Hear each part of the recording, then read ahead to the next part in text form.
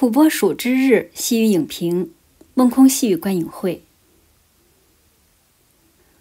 这是一部诙谐幽默、框架清晰、条理顺畅、蕴含人生启迪的电影。在诙谐的电影语言中看懂作者表达出的寓意，在人心、人性和人品三个层面上，自我心理建设的完成程度。决定与成就了工作、婚恋、生活三个人生面向上的自我主动态度和被动反馈感受。通过主角无数次的尝试与自我探究，来理解心灵与人生的迷宫，剖析这部电影中所表达的启迪与内涵。土拨鼠之日 （Groundhog Day） 暂时的今天，是一九九三年的老电影。但他探讨与涉及的内容却是人生永恒的主题：如何才是与才能幸福的活着？什么是幸福？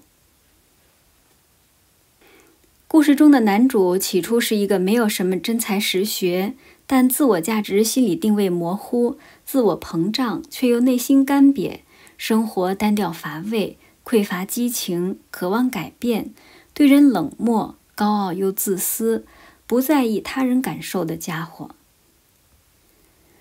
故事的背景被设定在九十年代的美国，主角与同事一行三人在二月二号要例行采访某小镇的自娱自乐土拨鼠日。庆典上，小镇代言人要试问土拨鼠费尔能不能看到自己的影子，春天是否会如期而至。这个看似很荒谬的民俗活动，却寓意着希望。与对新春开耕的朴素期许，请注意这个设定有其深意。这样的一个动物被拿来做主角，并问他是否能看到自己的影子。影子是一个物体在光下的自我投射。土拨鼠自然不会在意自己的影子，这些都是人们添加的杜撰。在这里，土拨鼠的影子和春天的关系，隐喻了自我本体随光而动的倒影与寒冬将过的希望。在二月二日的重复中，男主菲尔每天都听到收音机里传出雪儿夫妇演唱的歌曲《宝贝，我了解你》后醒来，这又是一个隐喻。你真的了解你自己吗？就算男主以为他了解了小镇里的每一个人时，他真的了解了自己吗？歌词。他们说我们还年轻，我们不知道，在我们长大之前，这不会发现。嗯，我不知道为什么这是真的，因为你得到了我，宝贝，我也得到了你。宝贝，我得到了你，宝贝，我得到了你，宝贝。他们说我们的爱不用付房租。在赚到钱之前，我们的钱却总是花光。我想是这样。我们没有很多积累，但至少我确信我们得到了所有东西。宝贝，我得到了你。宝贝，我得到了你。宝贝，我在春天买了花儿，我让你戴上我的戒指。当我难过时，你扮作小丑；在我害怕时，你总在我身边。他们说你的头发太长，我不在乎，有你我不会出错。请把你温暖的小手放在我的手上，从此没有我们不能攀登的悬臂。宝贝，我得到你，宝贝，我得到你，我让你握住我的手。你让我明白了人生的道理，我们从此同行，彼此慰藉。我要吻你说晚安，把你抱紧。彼此携手，不再分离。我如此的爱我，我如此的爱我。你让我明白了人生的寓意。在影片里，男主不断的重复中，我们看到一个人其心态的变化，从愤怒到自责，从四处寻医问药到荒诞无稽的肆意挥洒时间，从一再挣扎到躺平乃至绝望。从恐惧、担忧到心理崩溃。如果一天被无止境重复，如果一生再被一次次的重启，你要如何度过这时间呢？如何让自己的灵魂与内心得到丰满与充盈呢？说到这里，就要先看看人心了。人心是很容易在与他人攀比中感到空虚的自我显意识。这空虚的感觉，就是在可见的范畴内，我活得不如别人好。那么，人们最常比较的就是衣着、车辆、房子、金钱、旅游、朋友圈里用美图 P 出来的幸福。于是，男主去抢了运钞车，给自己买了豪车华服，结果一天后一切归零，生不带来，死不带去。物欲与性欲是孪生兄弟，是肉体的基础本能欲望。内心匮乏、空虚的人，最容易也首先能想到的空虚感诱因，就是我穷，所以我没有资本赢得异性；我身材相貌不好，所以不被异性看好。这些外在的显性指标。当这些人一旦有某个机会可以改变自己的外在指标，就会去疯狂的敛财美容，借此来提升自我价值。之后就会极度渴望报复性的广泛拥有众多异性伴侣，来填补自己内心的空虚与佐证自己的成功。拥有多个性伴侣，享受征服异性的快乐，追求享受物质生活，以为这样就能愈合自己心灵上的空虚，一路谋求追赶。当纷飞的红尘落地，半夜里在豪宅内醒来，身边莺莺燕燕酣睡，自己却还是觉得心中空落落的，一无所有，什么都不是。这时才发现，来自灵魂的饥渴是无法用金条和肉欲填满的，心灵始终渴望知见与智慧的成长，而这些都是世俗中物欲无法满足和达成的。当男主利用自己的优势套路过全镇适龄女性后，发现这根本无法填补自己内心中的空洞，也不能给自己带来什么真实的成就感或内在价值的提升，甚至可说反而更乏味空虚了。他开始渴望真爱，开始探究爱到底是什么，什么是爱与被爱的感受。结果却发现，自古套路得人心，却得不到真爱与认可。女人喜欢被追求，男人享受追逐猎物的乐趣。在这个过程中，女人很容易把追求时的套路理解成幸福，在我爱的与爱我的人间选择后者，结果日后才痛苦地发现，追求中充满了套路，自己渴望的幸福并非是日常中的常态，然后就开始失落与吵闹，因为对这落差不甘心。回头看自己看好的那个男人，现在已功成名就，婚恋有子。其实每个人心中都有无形的秤，虽然说不出来，但知道对方的斤两和人品。自己是该努力完善自己，让自己能赢得与值得更好的生活，还是安逸的享受被照顾、被呵护的滋味呢？多数人还是选择了后者，结果就如大家所知。在民政局每天领证的和离婚的数量一样多。色与利这两种体验是人生的滋味，没有对错。作为人的你我去体验它、了解它，没有对错。但这很快就会变得犹如快餐一样乏味。金钱变成了一种数字游戏，异性只是每日醒来后身边的一副皮囊。什么才能才是自我存在的价值与内心真切的期望？男主开始挑战全镇唯一没有被自己征服的女同事，可是，在这个女人这里，男主发现自己的套路却不怎么好使了。花言巧语、迎合拍马，无法推倒一个有思想、有品味、有抱负的女人。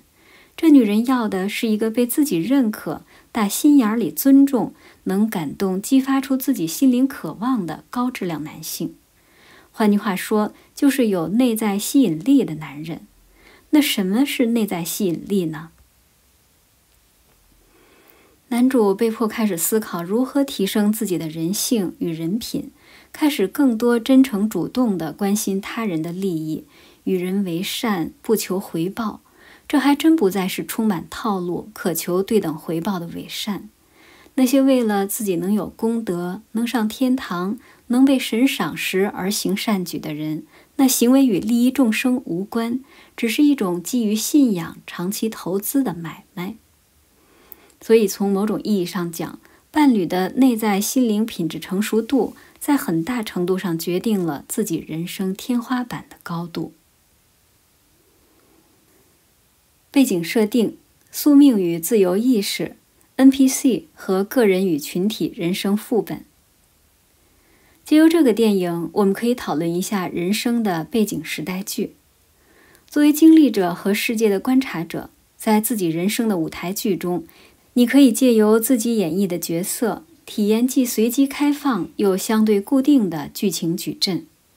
命运不是命运之矛的抛物线，而是依据自我意识在多重选择下展开的。有限的多重可能性之互动，在生命的矩阵中，群体实相与个人实相相互交叉。你的世界中确实只有你自己，但哪怕这个所谓的“我”这个角色“我”，其实也并非是真实存在的。那什么是真实呢？在不同的层面上，真实的定义显然是不一样的。但如果跳出各个单一的层面，是否有一个提纲挈领、宏观的真实呢？答案是肯定的。那这个与我们所谓的真实截然不同的真实又是什么呢？我的理解，那真实是一种远高于自我角色、自我灵魂的实相，是生成我们这个舞台矩阵的幕后编导和底层规则。在那个宏观的蓝图运作中，有其可变与不可变的设定。而我们这些经历者与观察者，也因此有了可依据自我抉择而改变的实相和必须接纳的无奈。尽力了，就抚养无愧天地，而无需纠结与执着于成败得失的果是否匹配偿还了自己的付出。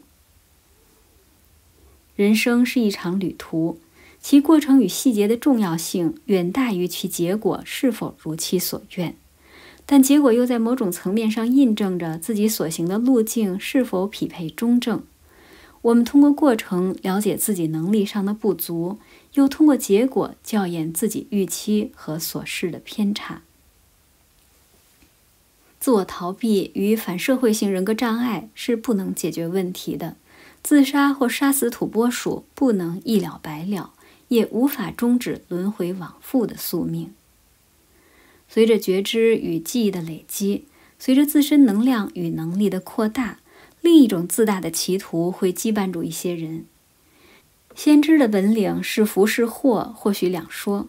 因为知道了，反而在宿命的轮替中更多了些许的无力感和无奈。主角曾一度觉得自己就是神，可以为所欲为，并不承担因果。当时间不再以线性的方式被展开，因果律也就瞬间崩溃了。但一个蹲监狱的神好像也没有什么可显摆的，哪怕知道一切，可以预言一切，可以预见一切，可以用这样的能力随意左右人生的过程，但轮回后不是又一切归零了吗？有何意义？人生中恐怕最重要的事就是婚恋了。俗话说：“男怕入错行，女怕嫁错郎。”很多人以为，在婚恋的过程中，女人享受被追求的快乐，而男人享受狩猎征服的快乐。其实，经历万千后，我们才会明白，追求不如吸引，魅力或行不如爱财慕心。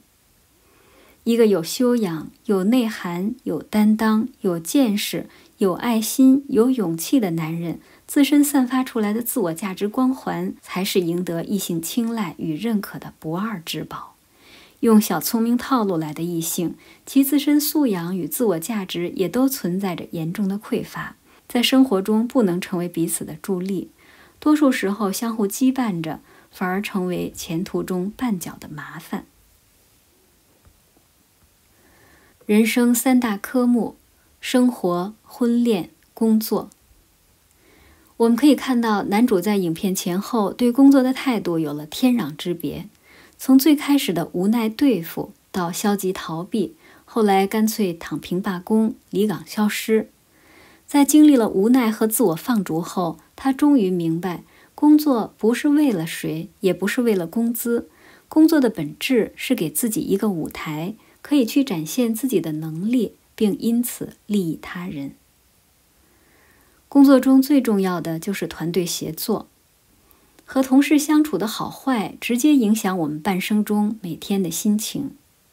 男主从一开始自大的一言堂耍大牌，到后来学会主动征求他人意见、尊重他人意见、照顾他人的心理需求，经历了自己心理成熟的蜕变过程，从一个冰冷高傲的混蛋，慢慢的开始有了人情味儿，变得温暖。从一个剥夺、欺压下属的世故油腻中年人，转变到愿意付出真诚、给予伙伴关爱的阳光普信男；从能量的索取者到能量的无私分享者，这一转变反映出了主人公内心渐进饱满充盈，从渴望、从饥渴匮乏到光彩照人，在不断的自我丰盈的过程中，最终触发了从量变到质变的升华。所有生命都会不自觉地向滋养生命的能量中心靠近。如果你把自己活成了一个吞噬一切的黑洞，或牢骚满腹、麻烦不断的泥沼，那大家躲着你就是理所当然的了。犹如那个花言巧语、兜售保险的男人。内在匮乏与心灵空洞。那么，怎么才能弥合自己内在的匮乏感和灵魂的坑洞呢？如何获得充盈生命的能量，成为永不枯竭的光，温暖四方呢？如何让自己在生活中成为一个受欢迎的人呢？现在有一种毒鸡汤，说那种心地善、关心他人、乐意付出的男人是中央空调，无差别的四处送温暖，不会拒绝。说和这样的人成为男女朋友是很没有安全感的事。因为他不能只对自己好，把所有的时间都用来陪伴自己，不能随叫随到，自己有的福利周边的人也都有，自己感觉不到特别的优越感。这样的男人不能嫁，因为没有安全感。真的是这样吗？一个像男主这样的灵魂成熟的好男人，真的不能嫁，不值得爱吗？一个有爱心、肯付出、对人一视同仁、不求回报的傻子。活该单身吗？其实说与信这种论调的女孩，之所以没有安全感，是因为自身还不够优秀，觉得自己不配，也拴不住这样的好男人。他们知道这样的男人太招人爱了，温暖、智慧、豁达、随和，谁不想要这样的伴侣共度余生呢？哪个灵魂不向往温暖的光呢？自己难道一辈子都要防小三儿、防被绿吗？俗话说：“不怕贼偷，就怕贼惦记。”如果自己把这样的好男人过丢了，自己不就成笑柄了吗？与其这样，不如不要开始，当个朋友也能享受被照顾的温暖。说白了，这样的女人看男人就是我的，也只能是我的洋娃娃，你们都只能看着、羡慕着，而不能碰。幸福感源自我有你没有的落差和可用来炫耀的特异性。分析后不难看出，问题并非是普信男的暖，而是这类女人内心中的空。她们普遍没有自信，匮乏安全感，没有核心竞争力，也不想在维系婚姻中付出的比别的女人多。那怎么才能不让自己的男人知道被爱是什么样的感受呢？严防死守，只要自己的男人没吃过糖，就不会知道甜的滋味，也就不会觉得自己酸涩了。没有对比，就永远都是赢家。这就是醋坛子们的心理活动与成因。要想留住一个好男人一辈子，要疼他、爱他、照顾他，要做的比别的女人更好。如果你爱他，那掏心掏肺的待他，怎么做都甘之若饴。那是因为爱是充满主动性能量的。可是，如果关系是基于利益对等，出于物质考量，出于权衡利弊，出于年龄、生育的压力，或者是打发过日子的关系，那所有的收支得失就都在被计算之内了。每天只剩下斤斤计较的秤，在心里不断的衡量。一旦觉得亏了，就会吵闹不休，据理力争，盘点自己的付出与得到，把别人家每家的长处拿出来，责问自己男人为什么不是十项全能。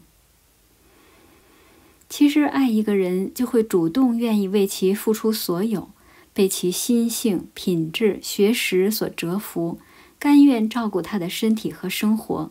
让他有能力、有时间为这个世界、为其他人，包括其他女人带来更多的欢乐幸福。可见心灵成熟度的匹配，在夫妻共同成长间是多么的重要。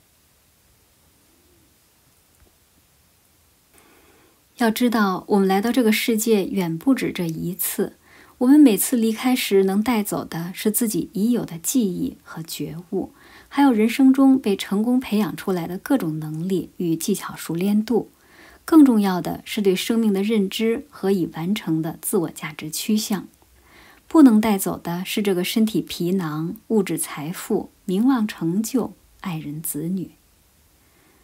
当你走过看似无尽的轮回，终于活明白了。知道自己的时间要如何的利用，知道什么才是真正有价值的投资，什么只是过眼云烟、颠倒执着梦想，那你就不会把一次次的机会重复用在追寻那些肉身享乐和欲望上，更明白角色我的虚名假利不过是骗人的把戏。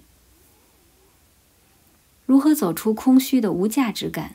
如何找到自己人格的合理定位，并不断滋养它，成长为自我意识完形？如何在人心、人性、人品上拾阶而上，让生活、工作、婚姻逐步发生本质上的转变？或许没有一个统一、简洁、标准的答案可以告诉你，我的读者，但却有一个简单的原则可以介绍给你，那就是，请你扪心自问。我所行所为、所说所想所谋，是否是在注意我不朽的灵魂，滋养它成长，还是在为了这皮囊或角色我一己私欲忙碌奔波？灵魂也是需要吃饭的，它也是会饿的。不过，它要的不是高粱厚味或药食丹丸，而是能丰盈自我的心流温度。而这心流温度需要人心换人心，真情互动中才能激发的出来，不然心就会慢慢的冷却、冰冷、枯萎、凋零，甚至死亡。心死了，皮囊与角色也就死了。所以说，哀大莫过于心死。人品，人的品行道德。是指个体依据一定的社会道德准则和规范，在与他人互动时，对社会、对他人、对周围事物所表现出来的心理特征或倾向。古人说：“学艺之前，先学做人。”学的就是这个人品。一个人做人没有底线时，做事也就没有底线。这样的人不可信、不可交、不可托、不可共事。人品不成的人，工作上也好不到哪儿去，潮起潮落，可以一时心黑得手，但谁比谁傻多少呢？日子一长就没得混了。人心，都说人心隔肚皮，做事两不知。这人心自古最多变，外边看着笑面虎似的，心里多少算计，多少龌龊。心里有多空，贪心就有多大。贪心不足，蛇吞象。这贪心一起，求而不得，就要生气了。嗔憎相随，得不到生气，得到了还不甘心，想要更多。拿得越多，越怕失去，紧紧相握，死不松手。怕无常，怕死，死了这些宝贝就没了。可是怕也没用啊，四处求。可自古神佛可曾保住了谁？想明白了的人，以诚待人，以心交心，用自己的能力和力量，主动的去帮助别人，不是为了名利，只是这样做自己就觉得开心。看着他人绝处逢生，我自欢喜。不做锦上添花，却愿雪中送炭。这人心温暖敞亮的人，善利他，喜共赢，没什么计较，少了很多的心机，好像没心眼儿一样，傻呵呵的。但这样的人真的是没智慧的吗？大智若愚，以拙藏巧，得人心者得天下。而人都是趋温动物，一颗炽热的心可以温暖自己身边的每一个人，带来光明与欢喜。这样的人会缺伴侣吗？人性，人之初性本善还是本恶呢？争论千年，在活下去的本能驱使下，竞争生存机会的斗争在所有物种中都存在，人类也不例外。只是吃饱了后，你是能消停下来，还是坏心眼子更多了？这就是差距所在了。人心之恶在患难中，人性之恶在富贵中。为富不仁，巧取豪夺，雪上加霜，成人之危。欺凌弱小，欺行霸市，没有同理心，也没有同情心。人性对镜的是生活，这样的人日子过得越好，身边贴心的朋友越少。每天用钱豢养着一大堆酒肉朋友，拜金红颜，却每每喧嚣过后留下无限寂寥。生活在社会中，却活得没有了人味儿。我们看到，最后男主在医疗救护、艺术造诣、心理关怀这身心灵三个方面，都通过累世的积累，逐渐达成了自我价值的体现。在获得由衷的爱与认可后，他脱离了无尽的循环，得以踏足并展开新的天地。轮回是诅咒还是赐福？是机遇还是囚笼？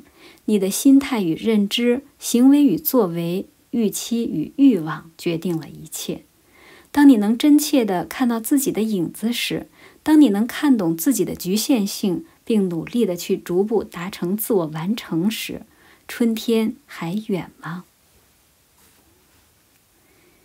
明天对你来说是新的一天，还是在重复昨天的一天呢？不管一天还是一生，都是自己选择的结果。请尝试着做出一些改变，哪怕每天只是一点点，学会去感知爱，但不要把自己困顿在固有的舒适圈里抱怨。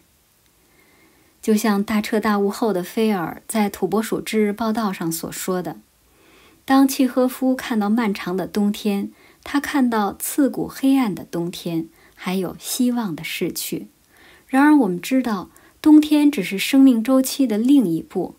站在普苏塔尼人之间，靠他们的壁炉和热情取暖，漫长而光亮的冬天，因此也成了最好的时光。世界可以是冷漠残酷的，也可以是温馨感动的。你自己做出选择，怎么去对待这个世界和他人？然后别在意这个世界怎么对待你或怎么回馈你，这样才是由衷的、不住相的去爱世间的自己与世人。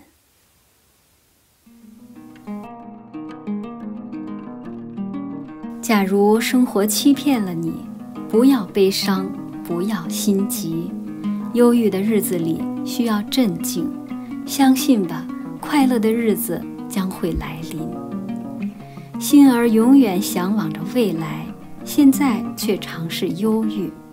一切都是瞬息，一切都将会过去，而那过去了的，就会成为亲切的怀恋，在未来与现在给你带来启迪。相信我吧，我的朋友，不要因为生活欺骗了你就颓废哭泣。也不用去计较一时一世可见的得到与失去，去爱，去善待你身边的每一个人，乃至花鸟鱼食，把你的心融入到生命的自然里，欣赏着，并和天地融为一体，让自己成为行走着的恩典，圣灵的羽翼，让你的言辞温暖人心，你的手。扶助贫瘠，请你爱自己与这个世界，不管他如何的待你，赤诚之心，至死不渝。